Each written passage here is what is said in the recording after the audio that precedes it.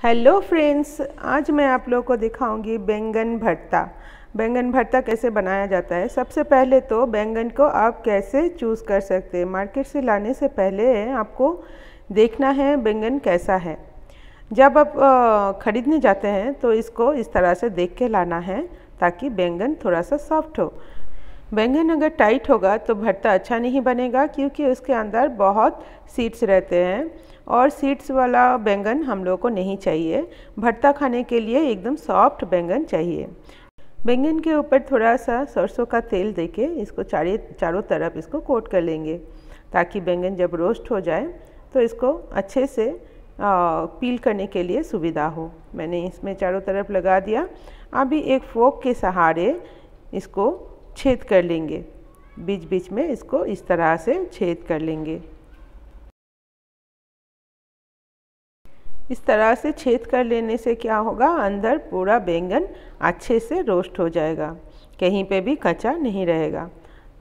तो ये हो चुका है। अभी चलिए इसको रोस्ट करने के लिए बिठाते हैं। मैंने यहाँ पे गैस के ऊपर एक इस तरह का नेट लगा दिया। अब इसके ऊपर मैं बैंगन को चढ़ा दूँगी इस तरह से। आपको थोड़े देर बाद बाद इसको थोड़ा सा घुमाते रहना है।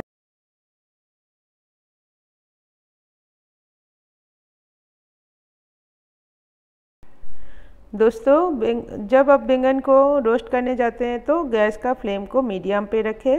ये ज़्यादा तेज पे रहेगा तो ऊपर से तो बैंगन जल जाएगा, लेकिन अंदर से ये कच्चा रह जाएगा। इसलिए मीडियम आँच पे इसको घुमाते हुए इस तरह से चारों तरफ़ रोस्ट करना है।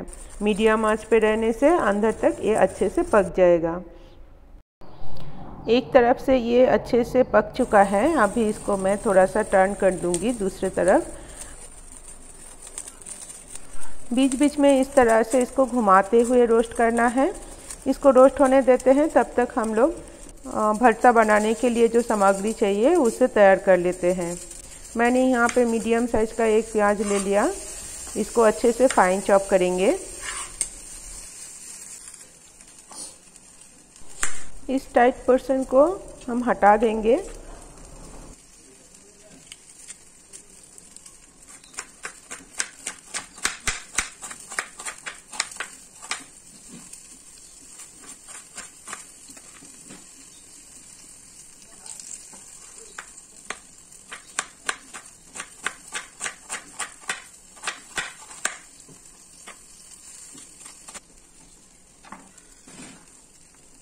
तो इस तरह से मैं अच्छे से चॉप कर लिया, देखिए। एकदम फाइन चॉप हो गया। अभी यहाँ पे मैं दो तीन हरे मिर्च इसको भी अच्छे से चॉप कर लेंगे।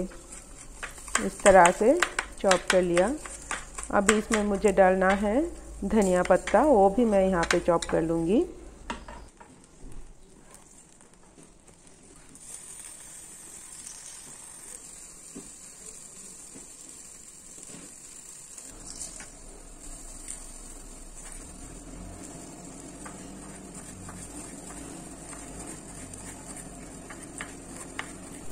सारी चीज़ों को अच्छे से चॉप कर लिया।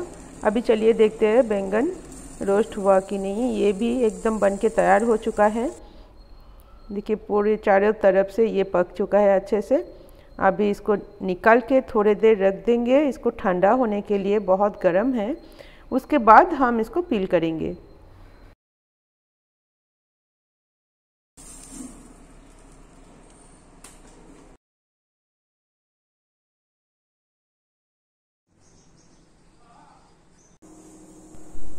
बैंगन ठंडा हो चुका है और इसमें से जितना जूस निकला है, इसको हमको फेंकना नहीं है। इसके समेत ही हम इसका भरता बनाएँगे। तो चलिए इसको पील कर लेते हैं फटाफट।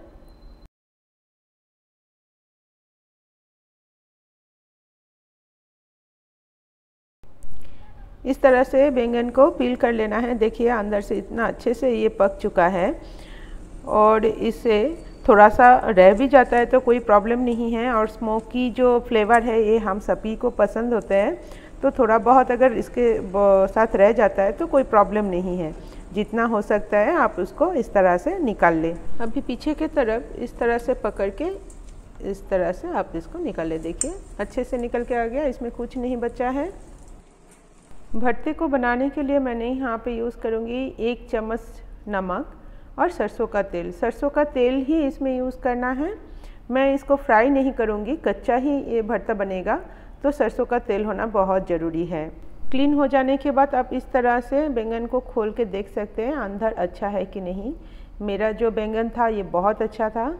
इसमें अभी मैं प्याज, हरी मिर्च और धनिया पत्ता सारी चीज़ों को डाल दिया।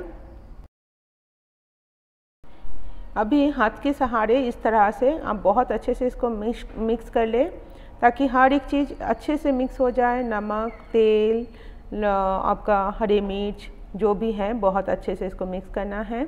हरी मिर्च आप अपने हिसाब से यूज़ कीजिएगा। सरसों का तेल थोड़ा सा ज़्यादा चाहिए होता है इसमें। आप अपने हिसाब से कितना बड़ा आपका बैंगन है, कितना निकल रहा है वहाँ से, उसके हिसाब से आप अपना क्वांटिटी सेट करें। मैंने यहाँ पे एक मीडियम प्याज डाले हैं, दो हरे मिर्च जो तीखा था और थोड़ा सा धनिया पत्ता, एक चम्मच नमक और सरसों का तेल चार चम्मच।